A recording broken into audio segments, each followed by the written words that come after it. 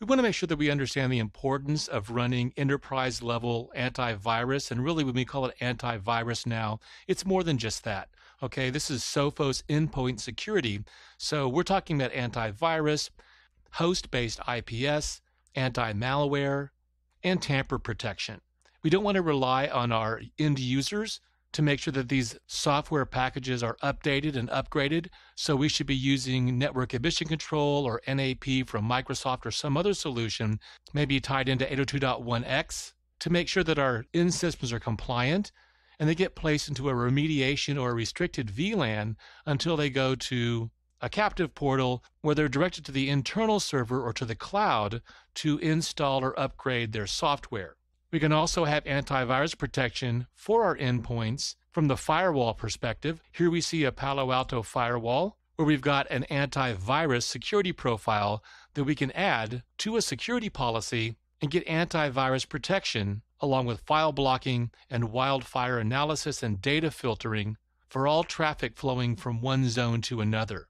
Primarily, we're focused on the outside untrusted zone going to the inside trusted zone.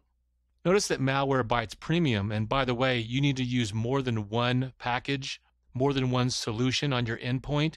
I use Sophos and Malwarebytes on two of my systems, and I use Symantec and Malwarebytes on two of my other systems. And you can see that we're getting not just antivirus, but web protection, exploit protection, malware protection, and ransomware protection.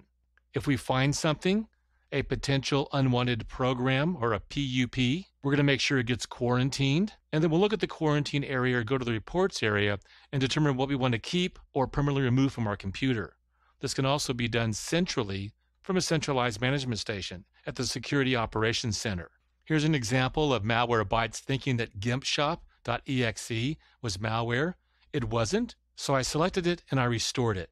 You may also see reporting on things that were blocked outbound connections that were blocked or inbound connections that were blocked.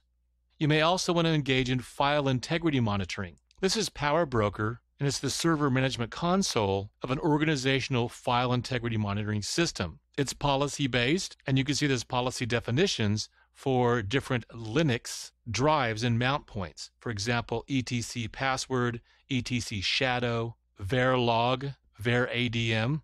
Key areas on a Linux system to monitor the integrity of your files. Log analysis is also very important. Most organizations use some type of security information and event management system, or they use log aggregation, going to a centralized management point. With SIEM systems, we're going to get reporting for compliance, for example, with GLBA, SOX, HIPAA, and PCI DSS. We also have event management with real time monitoring, incident management, response and alerting, and automated or user driven log analysis. And we're filtering this from a wide variety of logs system logs, application logs, for example, email servers and web servers, FTP servers, SharePoint servers, e commerce or e business servers, business intelligence or XML related servers. We also have audit logs generated from internal or external audits, database logs, and device logs. For example, logs from your routers, your switches, your firewalls, and your IPS sensors.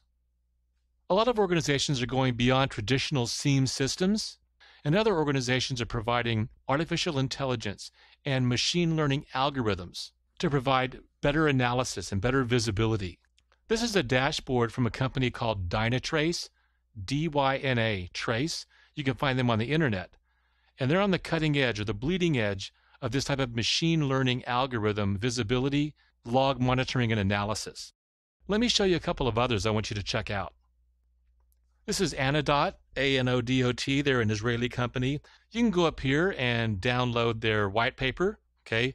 Gartner calls them a cool vendor in analytics, and you can go and check out their different product offerings, real time analytics, automated anomaly detection systems, and again, it's a software as a service platform.